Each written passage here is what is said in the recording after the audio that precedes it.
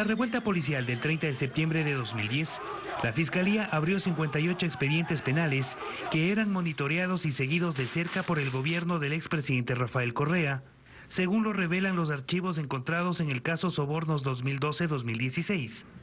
Sobre la muerte del policía Froilán Jiménez, quien custodió el vehículo en el que salió el entonces presidente Rafael Correa, los registros de agosto de 2011 señalan, bala que mató a Froilán Jiménez, el equipo de investigación ha podido determinar que la bala que habría matado a Froilán Jiménez salió del arma de un soldado de apellido Isa, quien habría sido trasladado a España a un curso.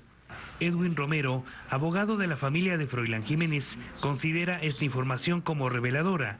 Que el gobierno de Rafael Correa Delgado y su gabinete tenían pleno conocimiento de la persona que ejecutó el día 30 de septiembre del año 2010 a Froilán Jiménez Granda.